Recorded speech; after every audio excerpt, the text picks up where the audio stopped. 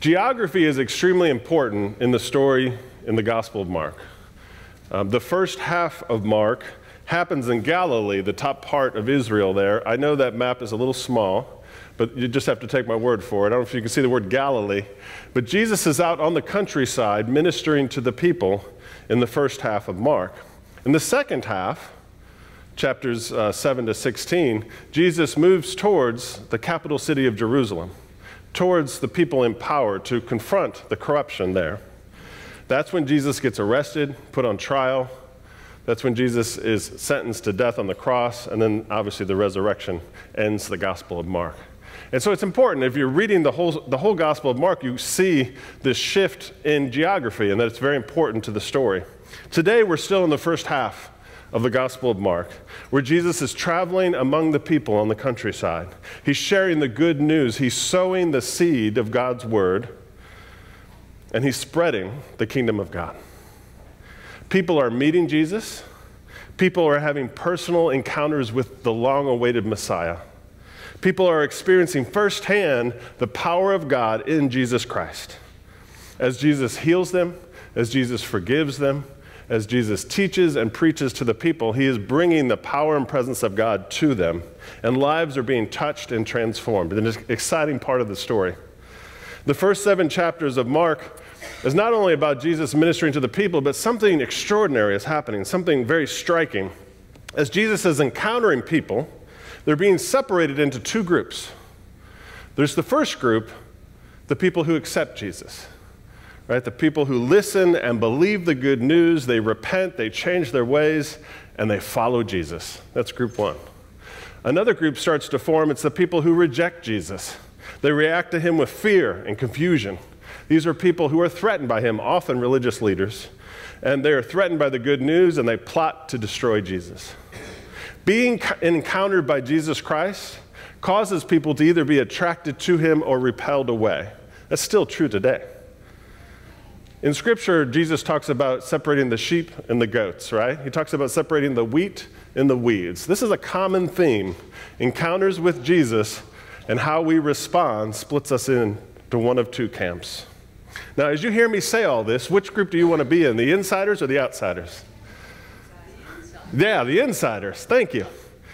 Yeah, I do too. I want to be included in the kingdom of God. I want to be a part of Jesus' posse, right? I want to be in Christ's clique. Don't you? You want to see how many more alliterations I can make? Those are the only two I came up with.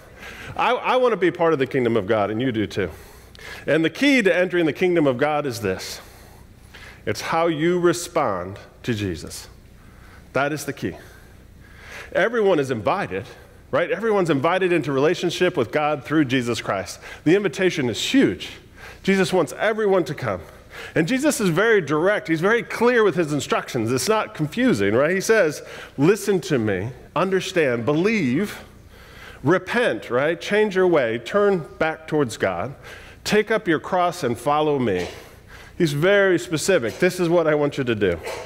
So listen, I want to read, I, I read that parable to you, and Mark, I want you to re- hear what happens afterwards. So Jesus said, Let anyone with ears to hear listen. When Jesus was alone, those, were, those who were around him, along with the twelve, asked Jesus about the parables.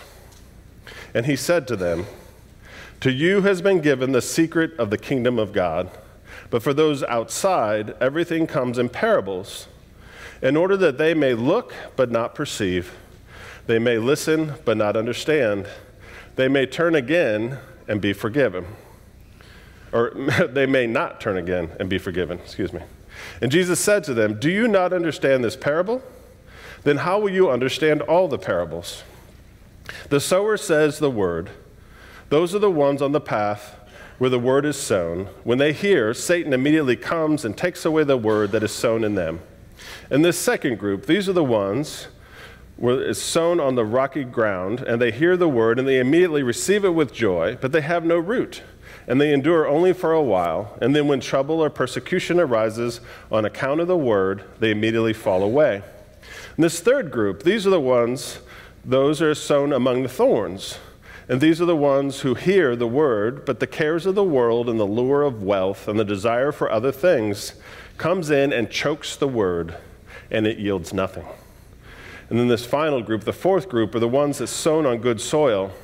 They hear the word, they accept it, and they bear fruit 30, 60, and a hundredfold.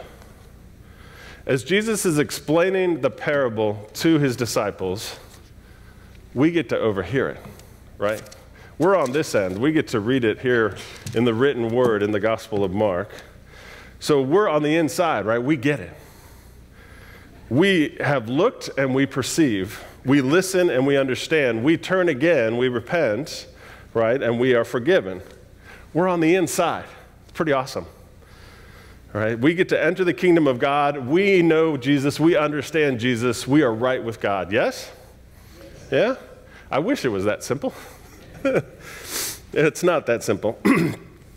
In the Gospel of Mark, the disciples, the insiders, the ones who have the secret to the kingdom of God, they don't always get it right. They don't always act like they understand what's going on. They are very inconsistent. Sometimes they get it right. It's pretty awesome when the disciples leave their nets and follow Jesus. Good job, guys. They did that one right. It's pretty awesome when he sends them out two by two on a mission and they heal and they preach and they touch many lives with the power of God. There they got it right. But they also get it wrong. Sometimes um, the disciples get it wrong, like when Jesus calmed the storm, it said the disciples were scared and they lacked faith. Do you remember that? And when Jesus walked on water, it said the disciples were overwhelmed and they were terrified. They didn't understand. They said, Who is this? Right? So, again and again, throughout the Gospel of Mark, the disciples are confused and they're overwhelmed and they mess up. So, what the heck is going on with the disciples? Because when I read this story, I relate myself to the disciples. I feel like, yeah, I'm rooting for the disciples, I'm one of the disciples, and then I see them mess it up and get it wrong. What do I do with that? Well, honestly, I find this very comforting. I really do. The disciples are depicted as real people with flaws and with hang-ups, and I find them very relatable, very authentic. They're not presented to us as perfect people by any means. And so I can see myself in their contradictions. I desire to be a faithful disciple of Jesus Christ. I want to do the right thing, to be loving, to be patient, to be generous. And yet, like the disciples, I fall short. I make mistakes. And I know that I'm not worthy to follow Jesus Christ.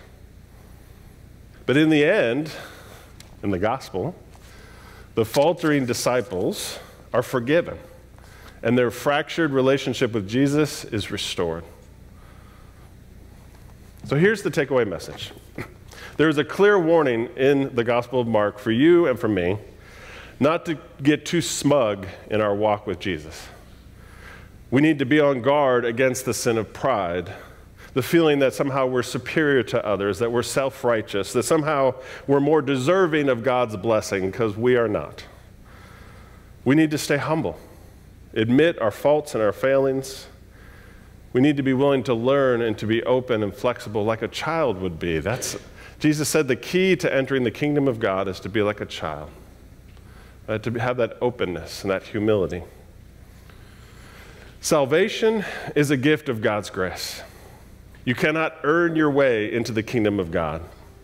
You don't have to be perfect to receive God's love. I'm going to say that again. You do not have to be perfect to receive God's love. I don't have to be perfect to receive God's love. I need to hear that. Do you need to hear that? So let anyone who has ears to hear listen.